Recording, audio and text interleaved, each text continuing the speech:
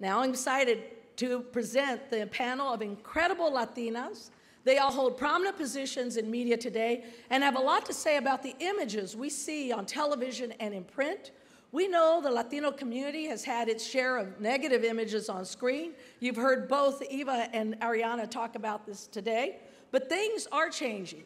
Today, we're going to have a frank discussion about the new Latina image and what's in store for our future. It's going to be great.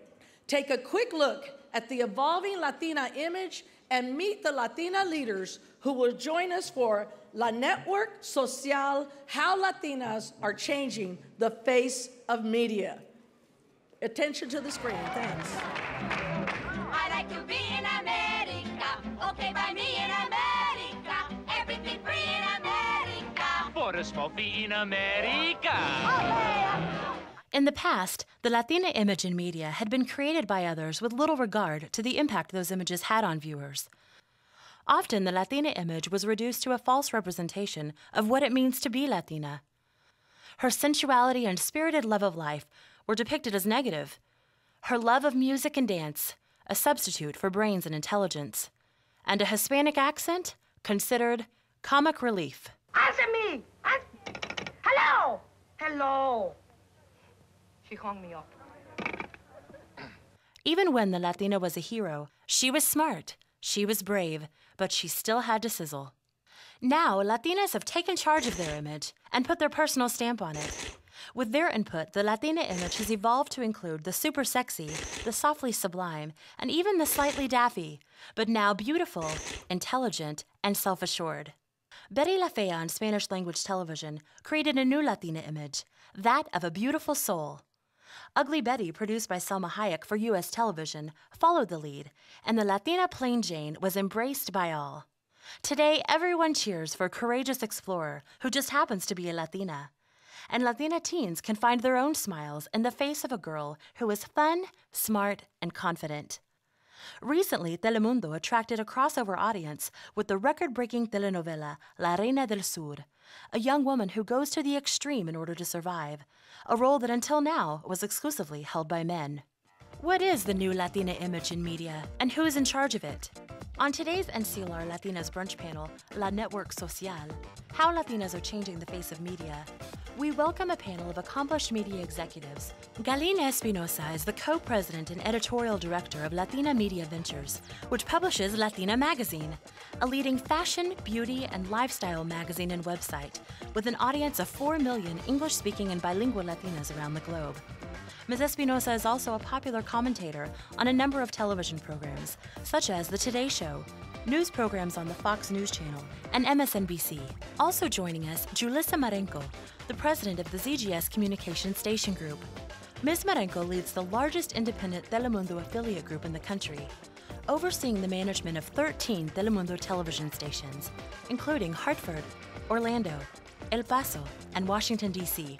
Ms. Marenco was honored to be named a White House Fellow, our country's most prestigious program for leadership in public service, and she was featured in the bestseller Leadership Lessons of the White House Fellows.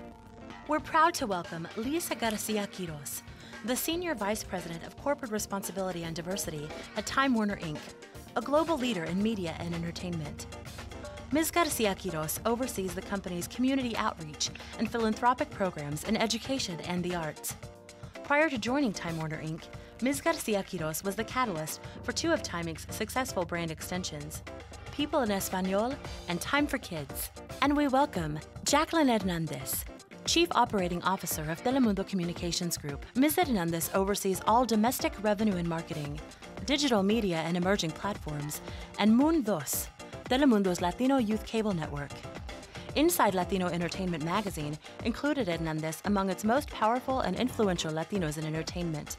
And People in Espanol listed her among its 25 most powerful women. Our panel moderator is Monica Lozano, the Chief Executive Officer of ImpreMedia, the leading Hispanic news and information company in the U.S., which publishes the most highly respected and influential Spanish language newspapers across the country, including New York's El Diario La Prensa and La Opinión in Los Angeles. She's also the publisher and CEO of La Opinión. Ms. Lozano has been a member of NCLR's board of directors and served as board chair. Most recently, President Obama appointed Ms. Lozano to the President's Council on Jobs and Competitiveness. Good morning, everybody. Uh, we hope to have a spectacular panel for you, and I'm sure it will be. We had great speakers this morning Arianna Huffington, Eva Longoria. Uh, we heard the message about how important it is for us to shape our own images. We got a chance to meet Janet's sister, Mary Murguia, and I'm here with my media sisters.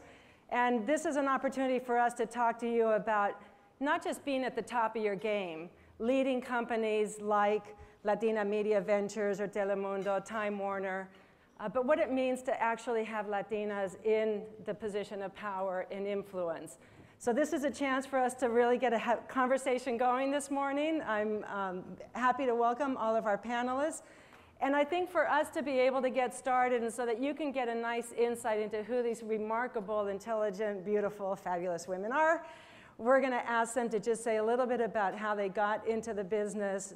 Um, they're all New Yorkers, if you can believe that. Anybody here from New York? So Galina, why don't we start with you? I thought being on this end, I would be no, no, no, spared having you first. Um, well, I think I might be unique among the panel in that even though I'm co-president now of Latina Media Ventures, I did not start out having any sort of business aspirations. Um, I really wanted to be a writer, a journalist, and that was instilled in me by my father, who came here from Ecuador when he was 11 years old, didn't speak a word of English. But he had an aunt who um, had grown up here, and the first time he went to her house, she had a library in her house that had nothing but books. And he was so taken by this that it was a story he told me many, many times growing up because he realized in that moment that books were the ticket, as Arianna referenced earlier, to a better life. And he became the first member of his family to go on to college. And so growing up, I really had instilled in me just a strong respect for the written wor word and where it could take you. And that was why I decided that I wanted to go into the field of journalism, um, to use words, in, to wield wor words in a way that was powerful and meaningful, and to be able to tell our stories, um, not just of my families, but of other women like me. Julissa? You know, I think uh, for me, so I'm one of those weird people that always knew they wanted to work in television. Um, so for me, all my life growing up, and, and I think it's somewhat where my affinity started was as a child. I, um, you know, I'm from New York and New Jersey, and I grew up in a household that was Spanish dominant. And so when I first went to school, you know, when I got to class, I was able to go into an English-speaking class. And the only reason I can credit that to was because of television. You know, I learned my, my first words, if you will, of English from Sesame Street, from Bert and Ernie. And I think that's where my affinity for the medium developed. I was able to see what a powerful educational tool it could be and really had an impact upon my life. Then needless to say, as I developed and I became a little bit more mature within the industry and after schooling, was really when I learned just what a powerful tool it could be and how we could use it to advocate for our respective community. We're going to come back to that idea sure. about the, the power of media and advocacy. Absolutely. Lisa? Right. Um, actually, I may be the only person on the panel who didn't grow up thinking they wanted to be in television or, or be in journalism. Um, I grew up in New York City. I have a Puerto Rican mother and a um, Mexican father, Mexican American father. And um, when I was growing up, I had a strong sense of social justice and always thought I'd be a civil rights attorney. So, much to my father's chagrin, um, after I graduated from college, I announced that I wanted to go to business school. And so I went and pursued my master's at Harvard Business School. And while there, I thought that there was no more powerful job I can do than go into the media. It was really at a time that I believe that there was such potential and promise in our community that it was important for us to really begin to shape how we talked about ourselves and how we perceived by other Americans. So that's how I ended up in the media, and it's been um, great. And I'm a media junkie. I have been surrounded by media my entire life, so I think it was meant to be my destiny. I mean, it started out growing up, uh, we'd have dinner with noticieros on all the time we'd watch bicultural programming. so we'd watch a little bit of Fantasy Island, novellas, and then Little House on the Prairie, which, by the way, was a novella. we always had people in Espanol and Hola in the house, and those magazines we would share and pass along with the Suarezes and the Rodriguezes that lived in our building. And then when the internet came along, I mean, I will consume media on every single device at all at the same time if I possibly can. So for me, media is not just something I'm passionate about, but really is a reflection of what's going on in the world and what we all are a part of.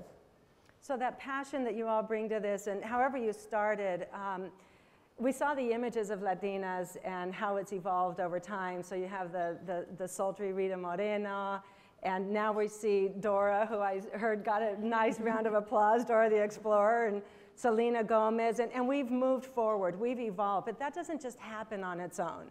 It's got to be deliberate, and there's got to be people like yourselves eh, as executives who are pushing those changes. Lisa, I wanted to go to you because um, you broke ground. People in Espanol didn't exist until Lisa Quiros um, launched that. Um, so tell us about how that happened and, and what was the intention and you know, why obviously with something so powerful as people, uh, did you decide at some point that we needed that kind of a voice for ourselves? Well, I think it was a really exciting moment in media history actually because it was the first time that a large general market media company had actually seen the opportunity in print for Latinos.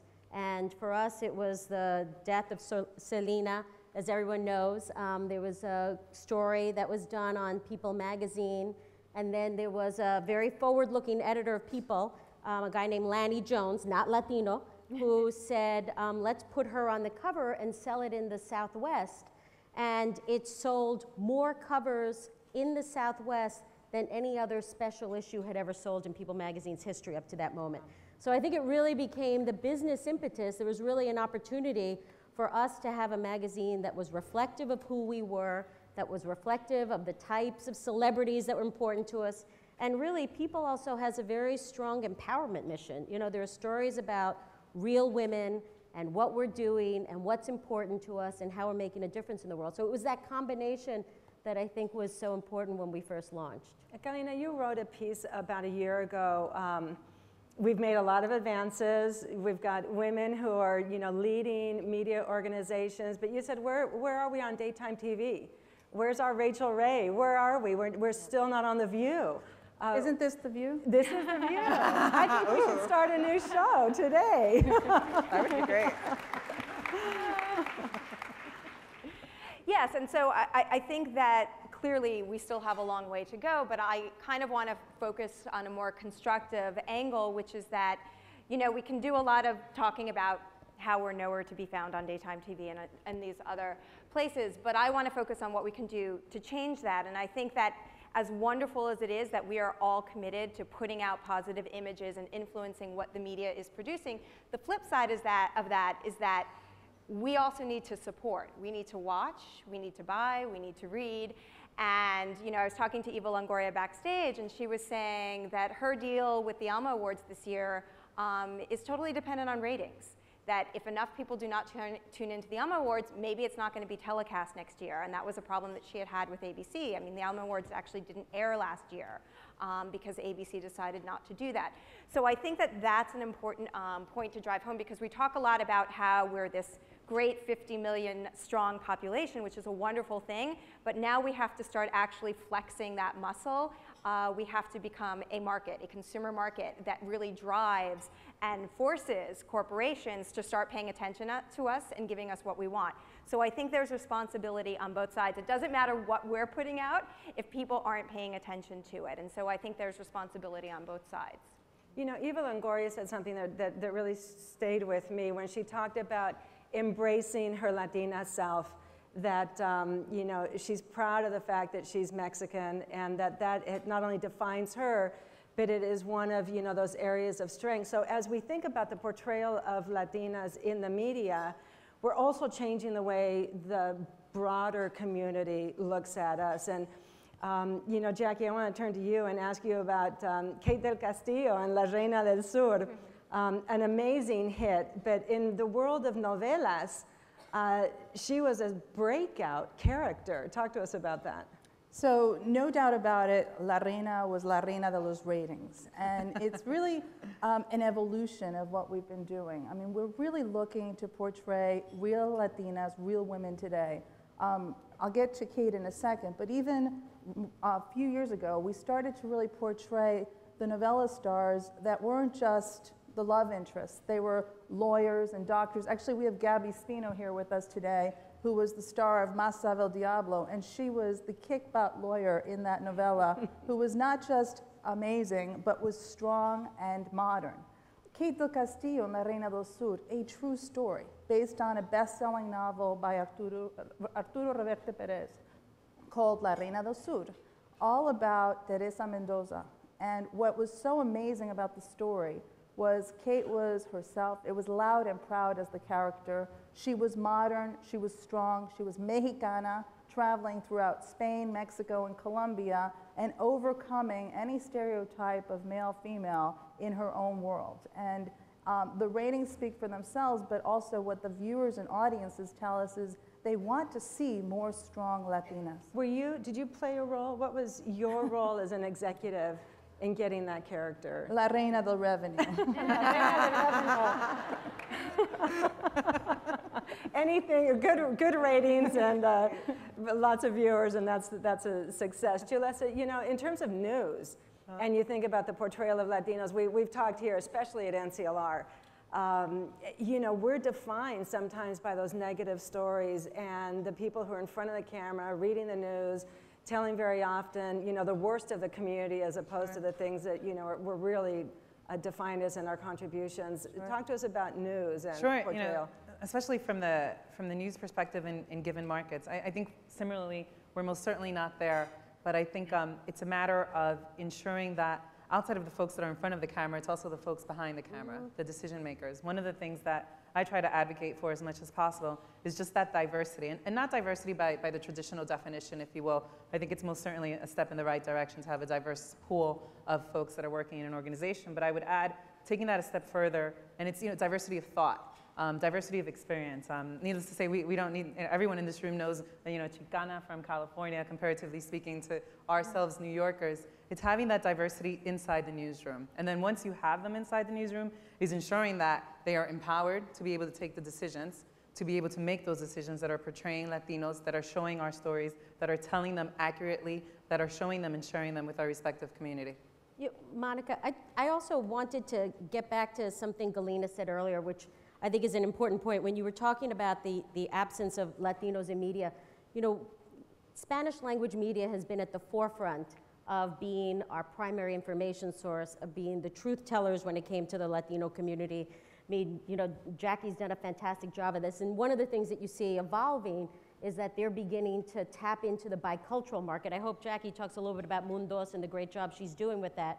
But I think that general market media has a really important role to play. The truth of the matter is that Latinos watch more English language media than Spanish language media. And it's important for us to be reflected in that media. I mean, one of the things that, you know, one of my challenges at Time Warner certainly has been that it shouldn't just be People in Espanol covering the Latino community, that it should also be People magazine. And in fact, I think, I'm sure Jackie can tell you the same thing, but we've been slowly seeing changes. You know, Crain's New York Business, which is a very influential industry magazine, recently came out and they had the 50 most influential women in media. There was not one Latina. How is that possible? I mean, you've got four up on this stage, all of us from New York, but the fact that you couldn't find one and put it in the cover, that's unacceptable. And I think you see that over and over again, but I'm hoping that, you know, through the efforts of everyone in this room, that we'll really be, begin to see those changes. Can I just piggyback on what you're saying because it's a major passion point and it's absolutely true. Um, you probably have as many readers of people as people, Hispanic readers of people as people in Espanol. You have More as in many people. more in More in people. people. And the same goes with television. And I always say, you know, Hispanics, we don't live in a world called Hispania. We walk down the same streets, we have the same clickers, we go back and forth with language. So it's something that we need to keep driving. And um, you mentioned Mundos. Mundos is Telemundo's cable youth network, which is for young Latino Americans. And recently, what we did is it was in English and Telemundo was in Spanish. And we did studies, and we found that today's young Latino Americans speak Spanish and English and Spanglish.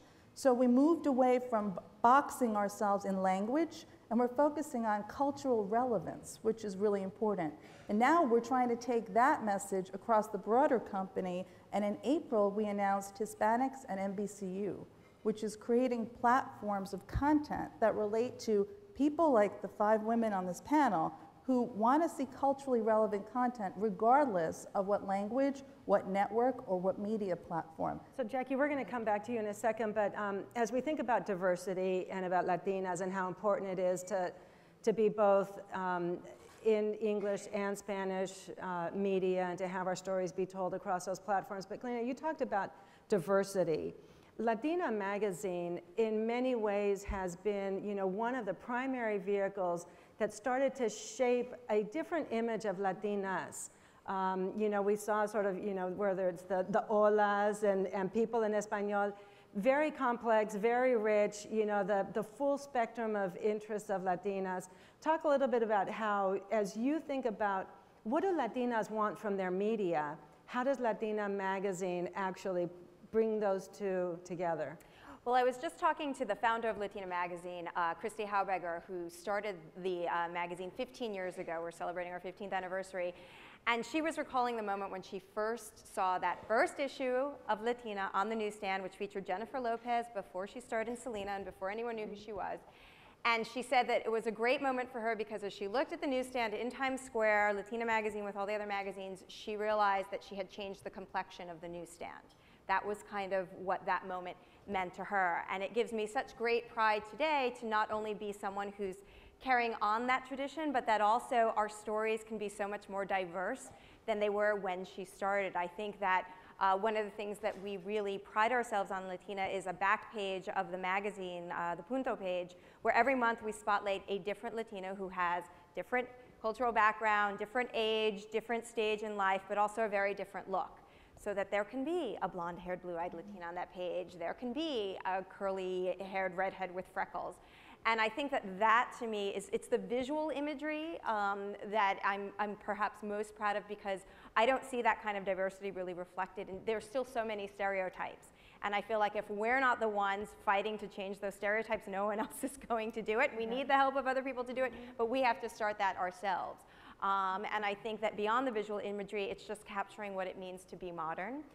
I still hear from corporate America that they're surprised that you know we all have mobile phones and go on the internet. And I mean, I was asked by an advertiser, I won't name who, if um, Latinas buy cars by themselves or if they need their husband's approval. So there are still a lot of really there are still a lot of really horrifying stereotypes out there. So when people ask me, well, what is Latino's role today and what is you know your relevance? it's there's still a very long education process uh, that we have only just begun. Yeah, so somebody used the term the other day, was in a meeting, um, Latinas as the chief household officer. We're the ones who make those decisions about, you know, purchasing power. We're gonna put some slides up that actually refer to um, a study that was done about what Latinas want. And the interesting thing about this is that as you think about um, sort of, you know, how do you define yourself? You know, professional women, a career, you're, you know, well-educated, et cetera. But traditionally, there had been this idea that, you know, Latinas in particular put their family first, put their husband first, put their role as wife and mother first. And now we're starting to see that, in fact, you know, not only are we more modern and, and thinking about how do we contribute, but those images that, you know, shape who we are are beginning to also be reflected on TV. So we're going to go just for a second to see um, a, a, couple of slides on what Latinas want. And Jackie, this is some research that you all did, and, you, and, and it, there's an acronym to it, right? The MIAs. You want? So what we did was NBC Universal had done a study, What Women Want, and we kind of piggybacked that and did a What Latinas Want, so we could compare the difference. And what we found was an emergence of what we call the MIA, a modern independent achiever. She's not what my mom was like when I was growing up, and my mom is fabulous. But she is a woman who wants it all. She wants career, she wants family, she is the CHO, the chief household officer, and she's making a lot of the decisions. But if we could just flip to the next slide, what was really powerful and interesting was when we compared it to general market women. If you look at the gray versus the pink, you can see that Latinas were more interested in education and career than children and family and in, in the, more so than the general market woman. And so she's what she's a power woman. She's a superwoman and she wants the full enchilada. Now what's not up here is the men and I'm just going to mention it because while we found the Mia, we also identified something that a lot of men don't like, but we call it menos macho. And what ranked number 1 and number 2 for him was children and friends and family and then career. So she's ambitious and she's making a huge difference, and you all know her, but it is an emergence of a new Mia that we all need to represent in what we do in media. So, Julia, so you're the new Mia. This idea of um, education and career being as important as, um, you know, family and. Uh, Well, certainly. how, do you, how does that relate to you personally? So from, from, from a personal perspective, you know, I think, I think it, a lot of it comes up to our uh, upbringing. And I think most certainly in, in the Latino community, kind of to um, Ms. Huffington's um, comments, you know, I think an immigrant comes to the United States. I think that they think at the end of the day, anything can be done in the United States. I know my parents, they most certainly instilled in myself and my brother a sense of it's, it's simply just you. So whatever you want to do, you can do it. You just put your mind to it. You know, nobody is better than you, and you are, you are most certainly no better than anyone else. That was kind of the, the interesting values that were built in us. And I think overall, as an immigrant population, we tend to kind of, you know, kind of huddle together. We tend to think the impossible. We tend to go for it. We tend to do it. And so for me, a balance has been very much a, a career perspective woman, very much wanting to make a difference within the media industry, within my respective community, but then also additionally so, very much in tune. You know, I call my mother every day. Sometimes, you know, I, I always say it's kind of like sometimes I call her because if I don't call her, you know, for one day, ¿y qué de tu vida? And you're like, really? You're like, at this age, you're kidding me. But you know, I think that you've got to be kidding me. But I think that um, it's kind of you know, it's the balance. It's, it's the balance of career alongside of family, which is most especially a part of our upbringing. You know, I, it's just so interesting when you see these stats, Monica, because I think that, you know, it, it, it makes my, my, my husband hears me say this all the time, and I say Latinos are going to save America, right? and in particular, Latinas are going to save America. So, what is that? So, what do, what do I mean by that, right? When you look at everything that's happening in the world, and if you look at most of the polls, Latinos are more optimistic, more focused on what I call core American values of being focused on the next generation, of ensuring that they have a better life than you do, of being vested in education, about sort of lifting not just yourself, but your entire family. And if you look at fundamentally what made America great, if you will, it's these core American values. So for me, what will be interesting will be this, you know, enormous transformation over the over the next 50 years because it's not just a matter of us being a huge portion of the population, but it's about, about us, I think, really restoring American values and, and bringing hope to this country mm-hmm. in a really important way. So, Well said. You know, so, so how do we recruit more people into the field? It- it- we can't depend on just a handful of Latinas that, you know, have been as successful, but we've got to also till that soil and make sure that this is perceived as an area of opportunity and, and the importance of having more Latinos in the field. Um, any, any thoughts about, you know, how do we communicate with our líderes who are here today to say, you know what, think about communications and media. Any, any thoughts about that? You know, I once heard someone say, when you get that corner office with the window, make sure you stop, open the window, and throw a rope out to pull someone else up. And I think that is absolutely key. And I, I most certainly would say, you know, each one of us was helped by someone else, and I, and I think it's, it's development of that pipeline. Development from, you know, and that begins everything from, from the grammar school to the collegiate level. It's ensuring that we are reaching out to that pipeline, that we are most certainly kind of presenting the viable options. I, I'm especially, I'm always, you know, everybody wants to be in TV, everybody wants to be in front of the camera, right? But there's so many more decisions that need to be made behind the camera. One of the things we always encourage is most certainly think about, you know, there's an editor who edits, his, edits a piece together. Why did he choose that shot over that other shot? Maybe that shot wasn't as flattering as this one to a Latina. We need folks behind the camera. We need folks to ensure that that pipeline is being built across the way. And along those same lines, we do need to encourage non-traditional choices. And by that, what I mean is, just like Lisa said, that we need not only people in Espanol to be writing about Latinos, but we need people to be writing about Latinos. I always tell young journalists, don't make the obvious choice to work in Hispanic-themed media. We need you in mainstream media. Before I took over at Latina, I was at People Magazine for five years. And they need us in the room to tell, to tell them why Juanes is important. Um, and I think that, I, I know it sounds ridiculous, but yes, we did have that conversation. So I think that it's very important to encourage young people coming up to look beyond the obvious and to see where they can make the most influence and to understand that they have value, that our perspective has value and it matters, and it matters now more than ever. So um, there's a short video that we're gonna, we're gonna play in just a second, but um, you know, Arianna made an amazing point about the value of social media and how, you know, uh, how many of you on Facebook? Facebooking, Twitter, YouTube, yeah, this is, this is how we're communicating today. And the ability to create community and to share stories. And it doesn't just depend on, you know, your newsroom anymore. All of you have the opportunity now to influence what we do as journalists. So we're going to look at um, just a, a short video about the power of social media and then talk about how we're letting those voices come in and actually influence the way that we think about this broader community.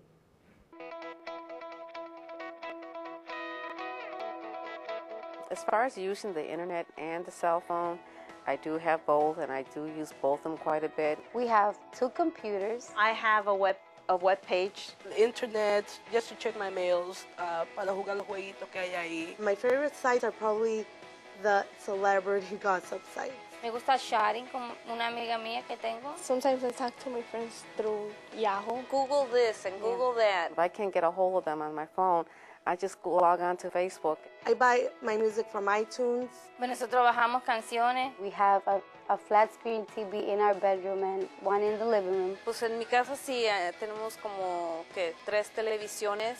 No tengo Tivo, pero si me perdí un capítulo de Sin Senos No Hay Paraíso en telemundo.com, ahí está. Pretty soon you I'll have a video for YouTube.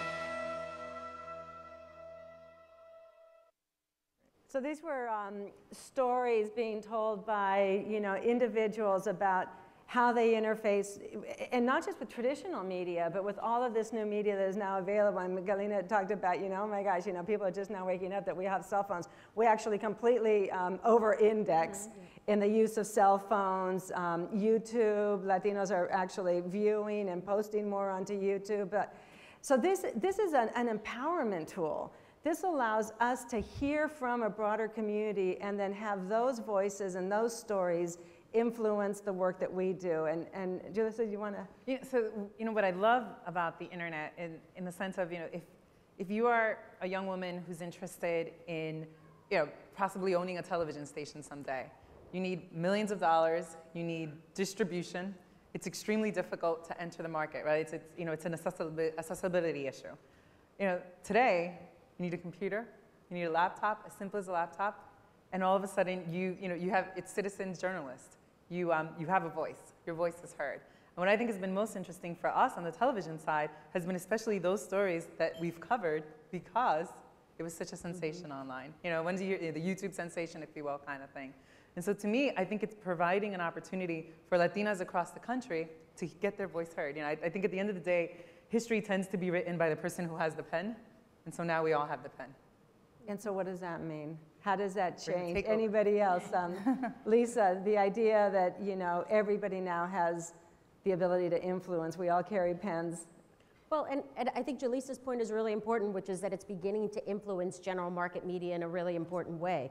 That the kinds of voices and stories that are being heard are much more diverse and much broader than what we saw in the past. But I think particularly, I mean, for, for all of us, I mean, you saw how many people raised their hands about Facebook, right? Many of us are, but for this young generation of people, of which we are a, a huge proportion of that population, this is the primary way they communicate. You know, I used to be up for hours talking to my boyfriend when, you know, I was a teenager. Now they're chatting with eight different people at the same time. I mean, for those of us that have teenagers, you know. But um, this is, we are just beginning to see the change that this will um, have, I think. And I think, uh, I love the question, how many people are on Facebook or Twitter? Maybe, how maybe the question would be, how many people are on Facebook and Twitter right now?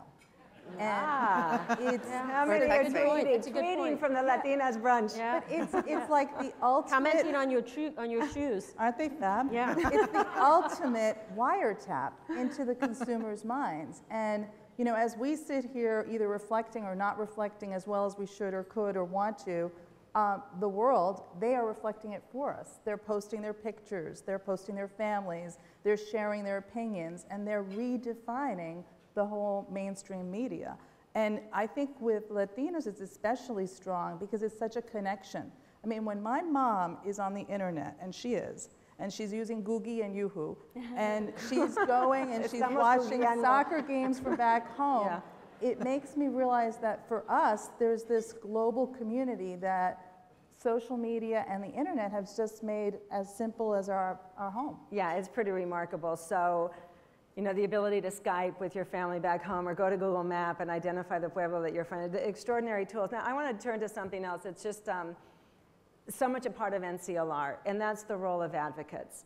And um, our speakers earlier today, you know, Janet, Danny, the board, th- this is a, a room full of people who are committed to being advocates.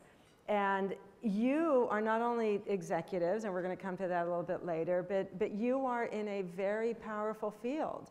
You can change the way people think about our broader Latino community. And, and do you see yourself with that mission? Um, is there a role of advocacy that, that drives you and that you know fills you when you wake up every day and say, you know what, I'm here to make a difference. Um, it's not just about bringing home a paycheck or increasing my ratings. It's there's there's an advocacy role to that. know, in, in my case, undoubtedly. Um, I think, yeah, a television station, you know, we get our license from the FCC to serve the public interest. That is, that is the, how, we, how we're able to get it, how we're able to keep it. I think, you know, one of the, one of the things that I noticed, I, I kind of, just a funny story, I had a turning point, if you will, within my career when I, yeah, I think the, the lure of television was the fun, the glitz, the this, the that. I think a lot of people go into it for those reasons. I remember one day, actually here in Washington, D.C., we have, um, we have an event called La Feria la Familia, very similar to the Family Expo that's taking place here. And um, at the time, we had a couple of our Telemundo stars. We had this great telenovela at the time called Pasión de Gavilanes. It was these great-looking men who were coming to spend time with us. Um, and you know, I remember I was outside and I was kind of chatting up, you know, with a couple of the viewers that were coming. And you know, we tend to kind of, you know, kind of give some of them a special circumstance where they could come in and meet the big stars. And so I was having a conversation with, um, with a woman. I was asking her, you know, oh, you know, which is your, you know, which is your favorite Gavilan? You know, mine is this one. And so she's telling me, you know, I, I like, you know, I like the novela. It's great. It's wonderful.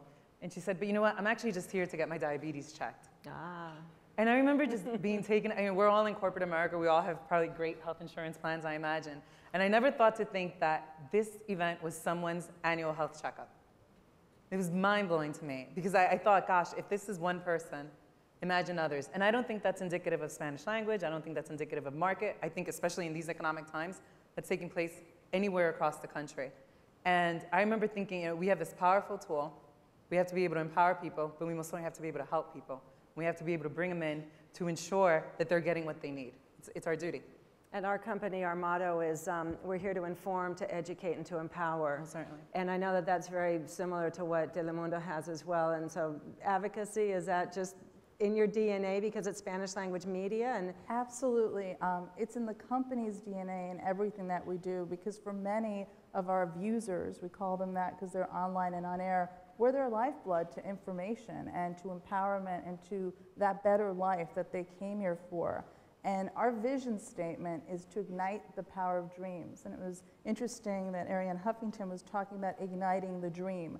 Um, we want, when you turn on the television, for you to remember that dream that you came here for. And, and that's what, as a company, we want to be able to empower you to have.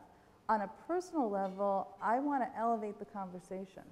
And I want to see us reflect the many complexions and mindsets and diversity that we have as U.S. Hispanics and tell U.S. Hispanic stories. so, so let me close with this question. And um, it's one about how you personally define yourself.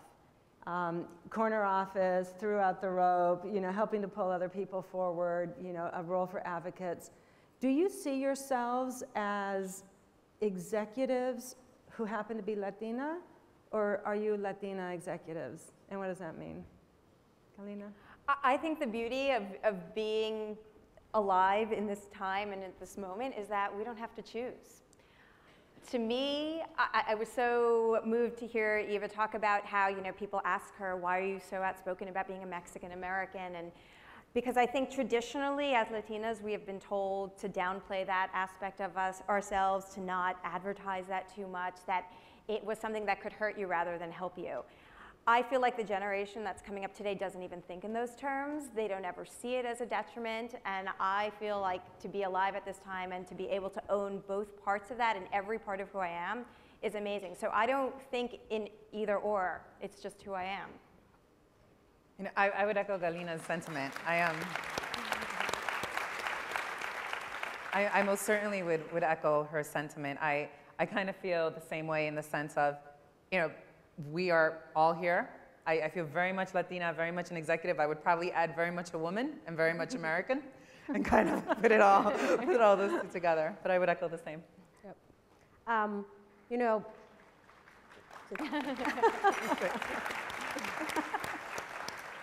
I, I think I, I might have a little bit of a different take, probably because I'm a little older than you guys. But you know, I grew up in a predominantly white neighborhood in New York. Um, I was always one of, I think I was one of two Latinas all through elementary school and high school. I went to a very white, sort of waspy college and business school. And what um, helped me get the best out of those communities and out of college and out of business school was the fact that I had this amazing Mexican grandmother who lived with us when I was growing up. I was the oldest grandchild. And she taught me that there was incredible strength and pride in being a Latina. And so I would tell you that sort of my response would be that I'm a Latina first. I'm an executive, I'm, you know, a million other things, right? Community activist, advocate. But who I am fundamentally and what makes me tick is the fact that I'm a Latina.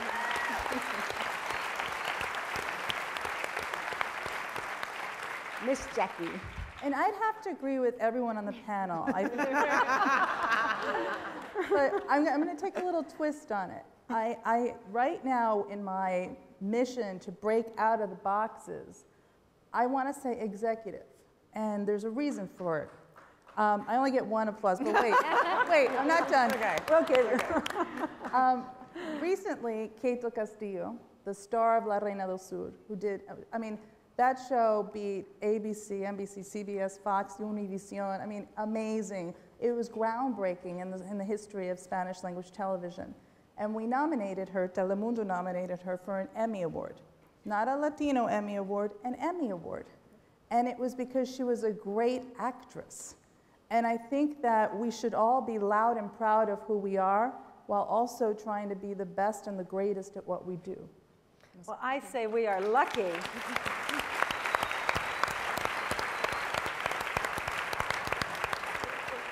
We're amazingly lucky to have executive Latinas, um, women like yourselves who are running media companies and helping to not just shape our, our image, but to change our image. And um, I wanted to thank all of you for being on this panel and thank everybody for um, supporting the Latinas Brunch. And we're going to take a break and ask Janet to come back up. And thank you all very much. Extraordinary. Great conversation.